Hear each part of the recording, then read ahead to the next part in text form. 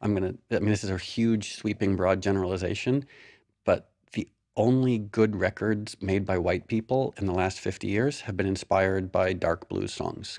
I mean, whether it's the Rolling Stones or Led Zeppelin or the, Bad Seeds, I mean, it's, there's something about the simplicity and the honesty and the sexuality and the darkness of whether it's John Lee Hooker or Lightning Hopkins, you know, these old traditional blues that have inspired, you know, people like the Bad Seeds to make great records. The whole idea of uh, uh, Firstborn is Dead was ostensibly to make a a blues album, inverted commas, uh, and this was done with full knowledge that we weren't really capable of making a traditional blues album, so it was going to come out as something quite different from the outset. Um, but just to try and enter uh, that world. It was really the first time that he'd seriously uh, approached that whole blues aesthetic and um, made some strange and uh, fucked up version of it him, himself. He was trying to um, to to work out his personal relationship to uh, to Americana, maybe to uh, to the, let's say the, let's say the blues, or let's say to some uh, early uh, early Black American music. In the Manchester tradition, we had a way of sort of shunning tradition. So therefore, if you came up with an idea that was sort of uh, had been baked in the blues, then you would want to disguise it pretty fast. Dylan, in exactly the same way, whilst being heralded as a kind of um, uh, you know priest of counterculture, was secretly a huge fan of of what Greil Marcus went on to call the old weird, weird, America. You know, he was absolutely steeped in folk song, in country music, in in the old kind of standards that that you'd have thought listening to Blonde on Blonde had just been blasted out of the water forever. Anyone who's like real about what they're doing, they're going to get that thing, you know, and because it is the bottom of music. It's what all all the modern music anyway is made out of. You know, it's like so. A lot of bands come and they play this kind of music. They've never heard of these guys. They never know where this music come from. And it's almost like they don't got the basement of their building. The notion of the blues uh, in this, as uh, the Bad Seed sort of interpret it, um, is really incredible. Um, you know, just having never heard anything like that, any sort of interpretation like that, and still to this day, nothing like that. Um, just completely different from any sort of, you know, Stevie Ray Vaughan bullshit or, or whatever. Um, but really just taking the almost the essence of of the blues um, and just distilling it to its its purest form. When we were discussing making that album, you know, and there's this idea, oh, let's make a blues album, you know, this thing about the kind of blues aspects. And to me, the the strength of the blues is about its kind of atmospheres, and it was must have been an obvious decision to go back to Hansa and record that that album there. They asked me if I wanted to go out to Berlin to make the next record, and uh, again, it was like, wow, this is you know chance of a lifetime. I mean, at that time, Berlin, it's like the last outpost for the West, and had this sort of very romantic and yet very in the Cold War sort of feel to it. Around that place, you could still feel the devastation of that great war and uh, yeah, just a lot of a lot of very bad vibes in a way that made room for for great new creations. The sound of that studio is all over the firstborn is dead. You know, that's how that room, so that when you hear all that sound, the atmosphere around those songs, it's the sound of that room. What is that? That's an old Nazi ballroom, basically. That's a huge old room with one hell of a live sound. And that's the live sound you're hearing on Bowie's vocals on uh, Heroes and stuff like that, some of the Iggy recordings. I started, I guess, collecting um, Bad Seeds material and birthday party material probably in 80, well, birthday party in 82 and became quite a, an obsessive collector. I'm quite an obsessive collector of things. When I first knew Andrew, he had a lot of, I guess, live things, cuttings, just lots of bits and pieces that he'd have collated from here, they're everywhere. You know, my then girlfriend uh, visited a record shop in Exeter. And over the um, speakers came this fantastic song. And I listened to it a while and I quite liked it. And then I realised, almost to my horror, that this was Nick Cave. And I had to go home to Andrew and tell him. Up until that point in time, she actually banned me from listening to the birthday party and the bad seeds in our apartment. Um, so it was that decision, which I must say was a wise decision on her point, uh, triggered me to um, offer her a marriage proposal. And you kind of wonder what would have happened if I hadn't have converted? would we be here today? So after 22 years of marriage, um, the song Tupelo had, a, uh, I guess, um, great um, emotional value. So when I see the Bad Seeds play that now, it's kind of uh, I listen to it with a with a big smile because I probably wouldn't be here today if it wasn't for Tupelo. He plays that a lot live, and it's the one that starts off with an amazing thunderstorm, and then it and then it just builds up. The the bass is um, has this sort of driving, um, repetitive, um, rhythmic feel to it, which is what good bass playing should be. Barry Adamson had done this bass line for Saint Huck on the on From Her to Eternity, and uh, I don't know what part of Tupelo Nick had, but the basic he, our instruction was to basically go out there and to uh, create some kind of baseline and undertow that was similar to Saint Huck, and some reason I, I ended up on the bass and Barry was on the drum. I don't know why that was. I was playing a sort of my interpretation of of the thunder. I think coming over uh, the song, you know, that, to, to begin Tupelo and setting the scene that way. So he inverted Saint Huck. So we were back in a similar, uh, on similar ground, but working things in, in another way altogether. Instead of it went which was the Tupelo bass line and ended up to, to be the Tupelo bass line. But um, it was just some some as these things happen. It was just them playing around musically his roots um, are are uh, are interesting and convoluted and thoroughly inbred.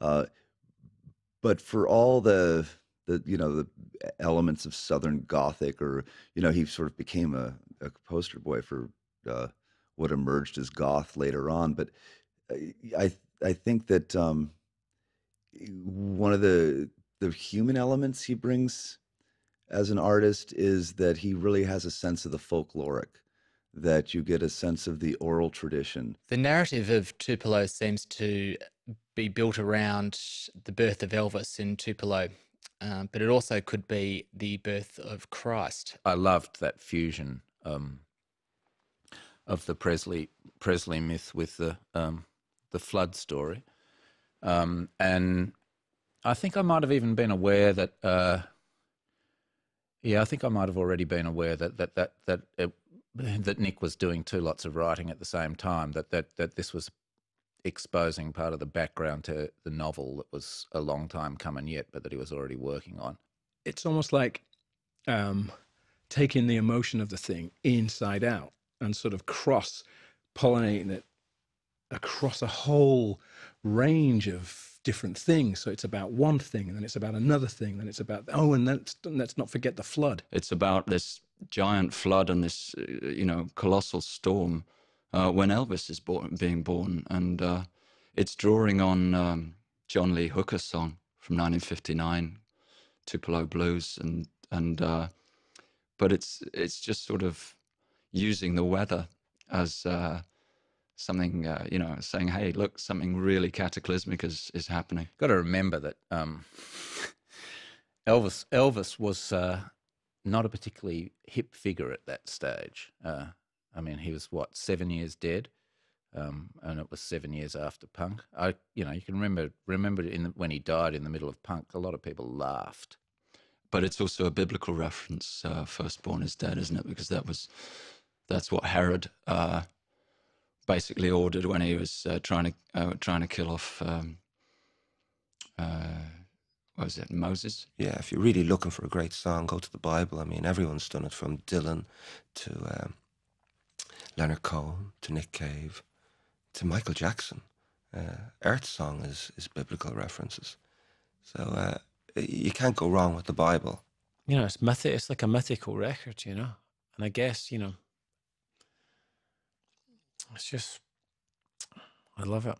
The whole deep blues thing and the de- development of that, I guess, biblical language was, I think, a way of kind of distancing himself from everything else that was going on around him, but actually, you know, it gave him a voice to be able to express, you know, things that were contemporary and that were going on around him. when Nick was living in Berlin, he was one of the people that no matter how you know much fun and uh, excesses we all had, he was constantly working and working really hard in uh, an atmosphere where there was not a lot of discipline. Really, he was uh, no matter what one of the more disciplined people, and um, and really like uh, developing uh, something, a world um, of its own in in his head, in, with his writing. Uh, the German philosopher Alexander Kluge says uh, that telling stories by cross mapping um, is a very modern way of telling a story. Cross mapping means, in Alexander Kluge's sense, um, that you, for example, uh, travel a, forest with the with the map of London City. So um, you you you draw from from things you know and that are real and that are from our world, and but you cross map it with with uh, fictional, uh, powerful um ideas, and I think that's exactly what Nick Cave had done on the whole album and all the eight songs that are on it. It's in this way probably a conceptual album. He's not a, a- a kind of a light or simple person when it comes to writing. He's he's a he's a very highly developed literary artist already. He spent obviously a lot of time and from very early on uh, developing the craft of, of writing, writing novels, you know, and uh, stories. I think he's a great storyteller. Maybe it was easier for Nick Cave to complete an album made of out eight songs uh, that all took place in the in the in the land that the Ass Saw the Angel uh, describes, rather than finishing the novel in time. Oddly, I've always thought of Nick more of as an author than as a sort of songwriter because it's that Southern Gothic, but a specific a specific place in Southern Gothic literature. Tupelo kicks the record off and it's a a great song, but you know, uh, I think I was aiming to be a little more. You know, the the single is a song that everyone's kind of gonna go towards, and and that's a song that the DJs are gonna play. And I went deep into the record and hit song number two. at, at that point, you could see the, the sort of literary aspirations in, in Cave's work were maybe closer to the music. So there was a sense that, I mean, that song to me, it feels slightly inspired by Nabokov, who's a, a writer that uh, that Cave has talked about being uh, being influenced by and having a lot of fondness for. Um, but it, but it, you can feel him sort of working out different ideas, and I mean, it's such a such a, a curious song. What drew me to say goodbye to the little girl tree, you know, was just like the minimal minimalism of it. It's just like the spare kind of hi hat thing, and this little guitar figure. the way they arranged arranged the what instruments they, they chose to put on them, it really showed um like it was really kind of visionary, I thought. Particularly, you know, the earlier albums like hardly having any guitar, it would seem, or or if it was guitar, you, you didn't really know what it was doing, and um, you know, which at the time was so kind of at odds with with what was going on. That was like a chain reaction where also other people have to react differently or play differently to somebody playing guitar like Blixa did. For me, as a left-handed person that plays the guitar like a right-handed person, was also meant very much that I played slide. I think that's probably the reason why I started playing slide with the Bad Seeds and never stopped doing that. when I started playing guitar, it was like all I listened to and all I played was metal. So, um, you know, it was just all about playing really fast and and uh, just shredding and you know technique and sort of things. But um, I guess I know. I was probably like 15 or 16 when I first heard the Bad Seeds, and um, you know, especially what what uh, Blixa was doing with sort of non-playing and uh, different tunings and and uh, slide guitar. It, it just um, you know, sort of like a wake-up call. Like, oh, of course, you know, there's a lot more that the instrument can do. Well, Blixa, of course, um, was, you know, brought in a really interesting wild card element, which, um, which I, I like the abrasive edge that that, that could bring in um, when he decided to uh, pull out his chops and his skrunks. It's always good to have a unique guitar player as your guitar player. The band, I thought, really, I don't know, they obviously came together. For me, you know, the early the early albums just don't kind of I just don't get them. But I guess once Blixa joined, for some reason, uh, some inexplicable reason as well, because I could never really figure out what Blixa was doing. Um, that as a band, as a sound, as a tool for Nick's lyrics, I thought they were just they they were on fire. It was fantastic. They were unbeatable, really, really superb, and they're great still. They're really, really good. it seemed like such a kind of vital, um, a vital kind of group of people um, doing something and really sort of doggedly determined and really like focused and and um, you know as an onlooker that was that was just so kind of um, so in, really so inspiring and uh, encouraging you know I guess. Um, I certainly had no you know never even my wildest dreams would have thought that I would one day be involved in it.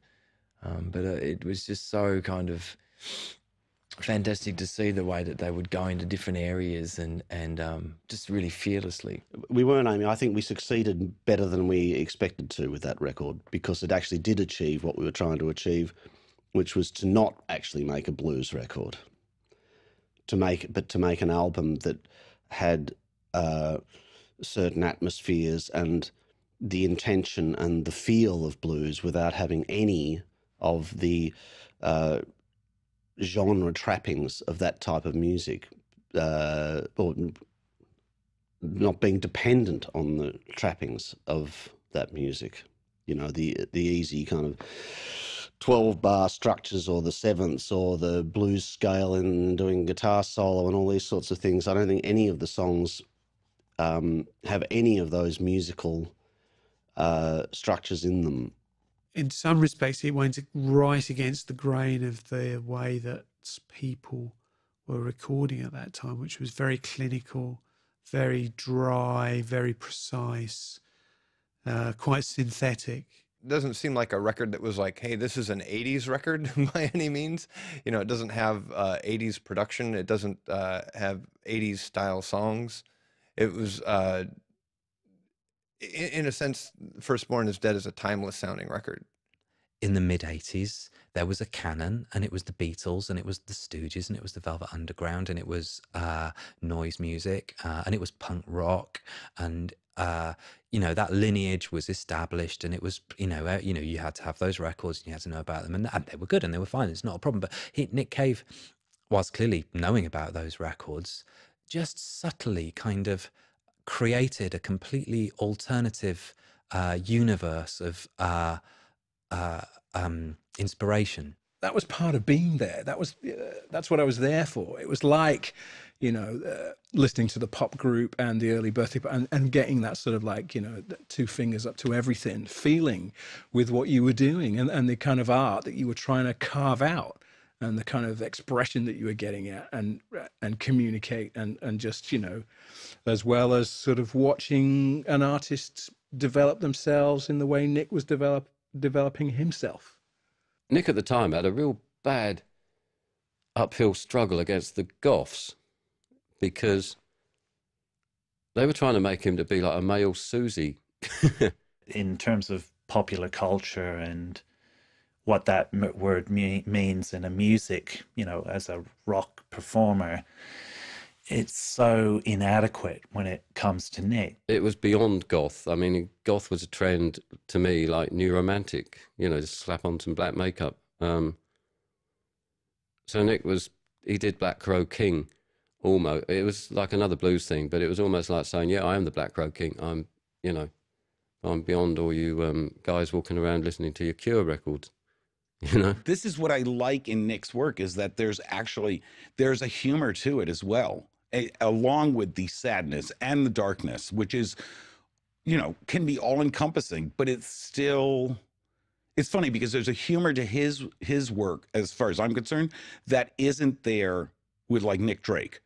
It just isn't. It's just, or even or even uh, um, Elliott Smith. It's just, oh God, it's awful. Whereas, you know what? It's awful, but there's there's a there's still humor in it. You have to find. You have to be able to laugh. Otherwise, what's the fucking point? I'm, you know, uh, a lyric head. I mean, that to me, um, you know, although I, I do appreciate and love music and I'm emotionally moved by the music, uh, the lyrics are what really call out to me.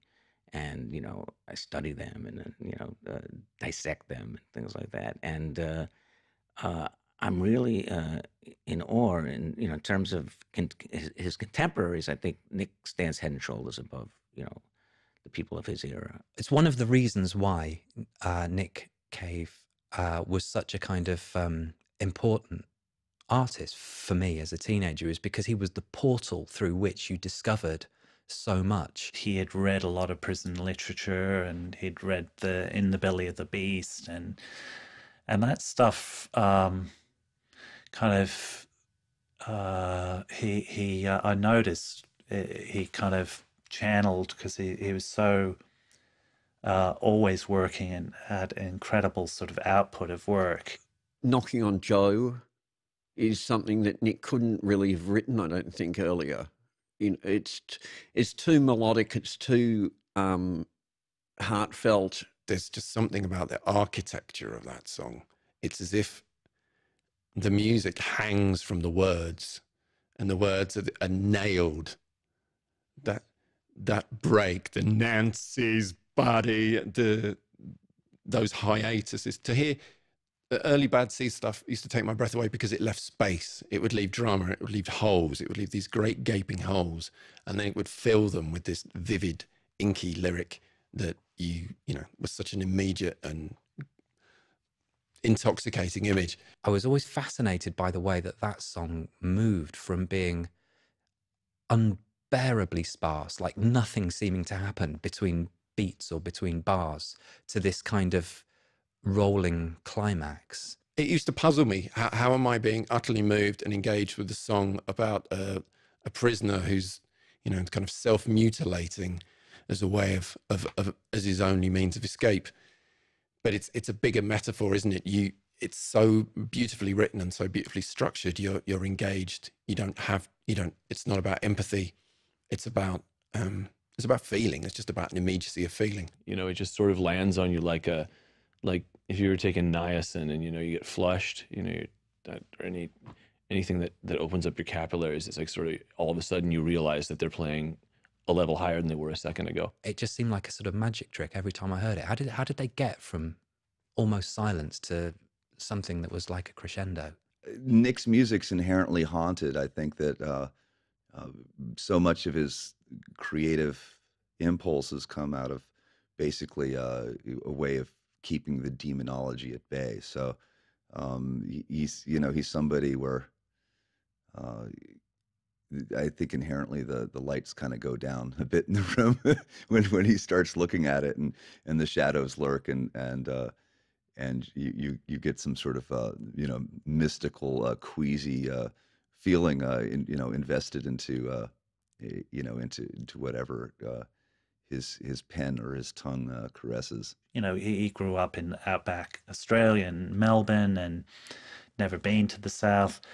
So he kind of takes these influences and appropriates them. You know, Faulkner, Flannery O'Connor, um, Carson McCullers, these these kind of people that really influenced him and and his writing, and I think it just like it was definitely a, a step up into a, a new level lyrically at that time that was necessary that he had to be that he was forced to be doing in his uh, you know in his career as an as an artist and that and I think it it was basically like the the literary uh, uh, evolution of his of his work that you know that uh, an outfit like the um, birthday party just couldn't suit anymore. Nick's Deep South fixation, which was already running rampant ever since Swampland, you know, he was writing his book. Um, I got well into the blues. Um, it made me, and I'll always thank thank Nick for this. Um, made me investigate gospel music and blues. So you start investigating this stuff, and it becomes like a trail for you to investigate as, like, you know, a fan or whatever. You start thinking, well, who is who is this blues person, and why is this important? And you start, you know, going out and buying other records and investigating other things. So I think that for me, that second album really did that. It kind of it set you on that path. One of the things that made the firstborn is dead such a really fascinating artifact to me as a teenager was um, the sleeve notes, which were written. I don't know by whom because I actually checked, and there's there's not a credit on the vinyl version anyway of who wrote the sleeve notes. So I, am hoping it was they were written by Nick, but I don't know. Um, but they were written in a kind of style that I've subsequently come to recognize as being the kind of thing you get on jazz liner notes, you know, faintly reverential and using a slightly kind of detached, um, sort of almost paternal tone. Almost like um, you get on a folkways record or something like that. I think they would.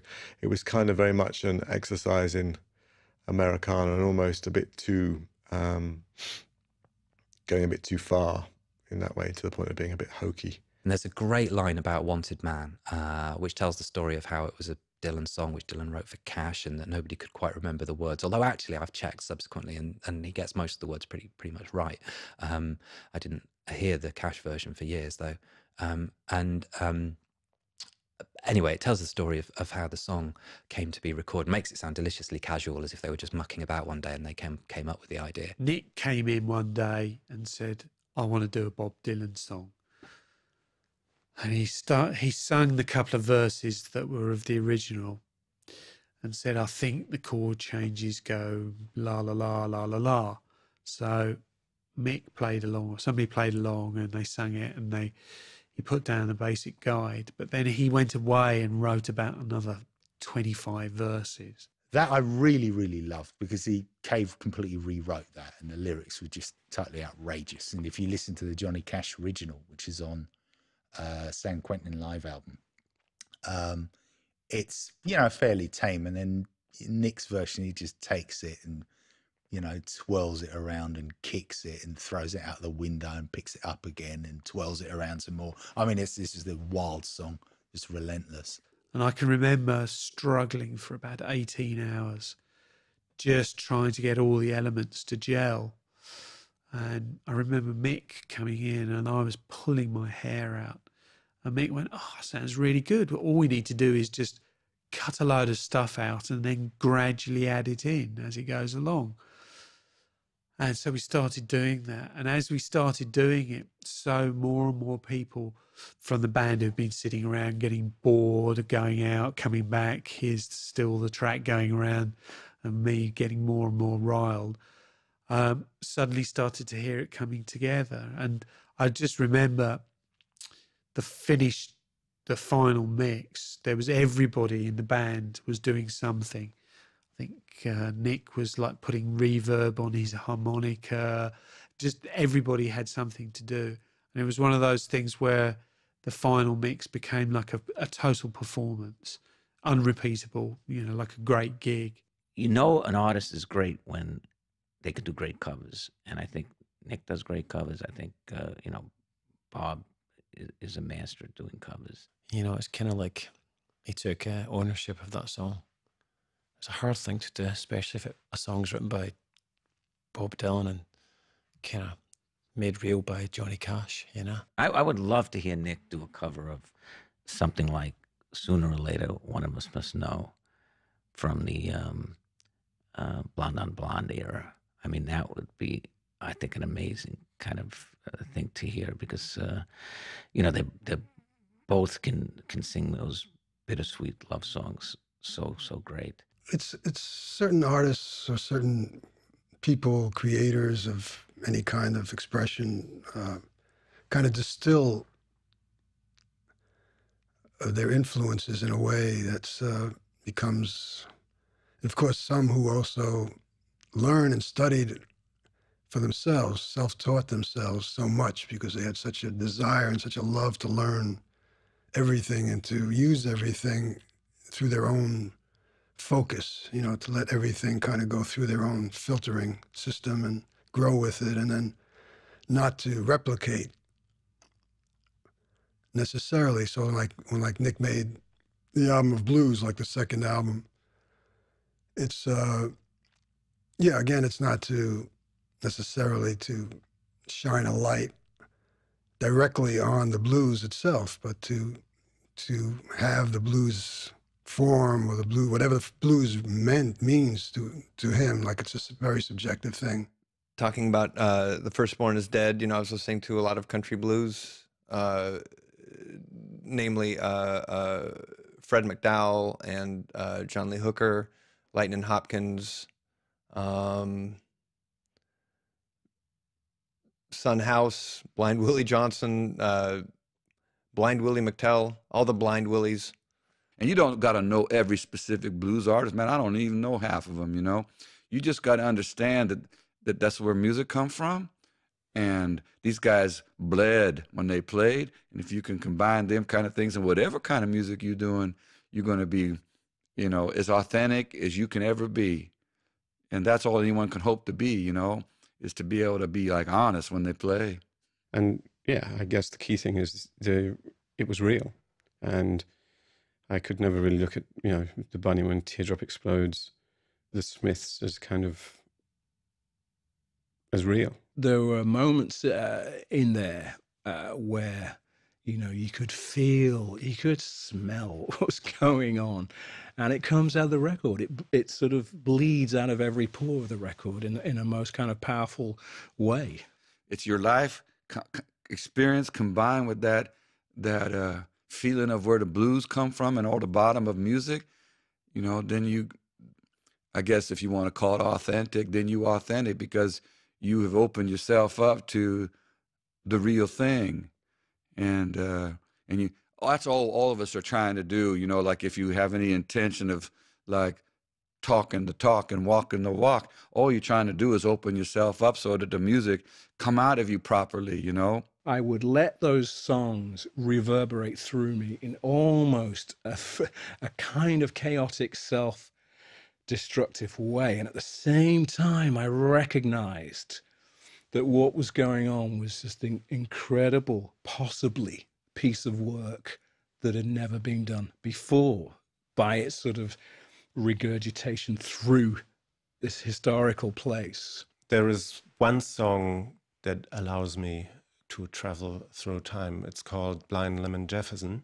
The music itself captures the uh, the, the mood of the lyrics. It, it's summed up by this kind of slow, rhythmic drive, and it's it's also the sense that the bass is really coming to the forward in the kind of the Bad Seeds sound, and bass is hugely important on the Bad Seeds records. Um, a lot. Well, Blind Lemon Jefferson uh, really revolved around Barry's bass line. And I'd played this quivering bass that was throbbing from the inside out. And um, fl- I walked in the studio, and the loudest thing in the track was this, you know, wobbling sort of bass line, which made the thing sort of like just sort of hover. I don't know what the effect is called, but like a whoom. Part of the bass sound on that I remember is like the actual bass, but then the sound of the room, like captured from like 30 feet away and really over exaggerated. So the bass just feels as though it's just coming from everywhere, as if you're standing in the room next to the bass player and you're being enveloped by the bass. you know, and I tried to play it like uh, bass is a bit loud, don't you think? You know, but I knew that those were the elements that were making things work really well. You really get a sense of this kind of momentum, but it's a slow, painful momentum, like this old guy with his, you know, as he says in the song, you know, tap, tap, tapping with his cane. You know, even when he starts singing, it's like blind, Lem, Jefferson. Is it come in? Tap. You know, it's just space. Basically, uh, I'm playing slide guitar like I'm trying to play minimalist music. I'm not doing much. I just couldn't believe that there was anyone who had such a great sense for atmosphere. And I've always thought, I've always thought that when I heard Blind Lemon Jefferson, which I did, I went out and bought the, you know, some rubbish compilation uh, and listened to those recordings, which of course were made. Uh, musicologists will correct me, I'm sure, but either in the late 1920s, maybe the early 30s, but really a long time ago. Uh, they have that quality of static uh, because they were recorded by him shouting into a big horn and a needle etching it onto something made out of wax. This music builds on a on a on a treasure chest of songs that have been written by others, and that Nick Cave is just carrying the torch, but just in a in a very positive sense. He he took the torch that song has that quality, that absolute quality of like having existed in some pre modern period and just kind of been parachuted down a time tunnel to land on this record. And you could just feel it. It's like you knew that they knew, not in an arrogant way, but in a realistic way, that they were doing something nobody else was doing, you know? And, uh, and that's what makes for great bands, you know, not, not necessarily great albums or tours, but in this case, yes, but, but, you know, great bands are become great when they are trying to do something that they don't see anybody else doing. You know, and that's really there was nobody anywhere near their league at the time. Being in Nick Cave and the Bad Seeds was the first place where, you know, you could, you were. It was almost, you know, a given thing that you had to get inside and sort of put the thing like poof, on the table and go, there it is. You know, there was no sort of, yeah, there was sort of disguised kind of pussyfooting, if you like. But really, what was going on is that like people were in there bearing their stuff like you know until it hurt to get this thing out. And so you are literally inside what's going on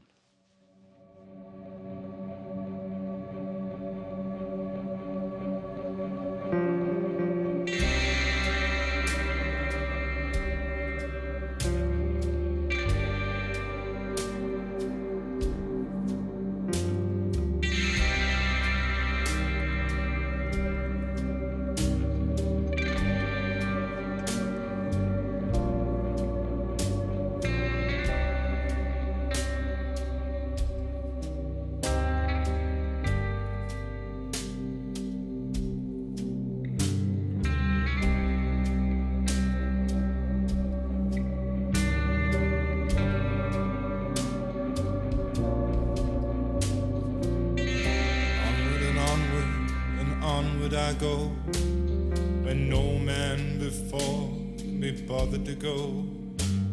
And the soles of my shoes are shot full of holes, and it's all downhill with a bullet.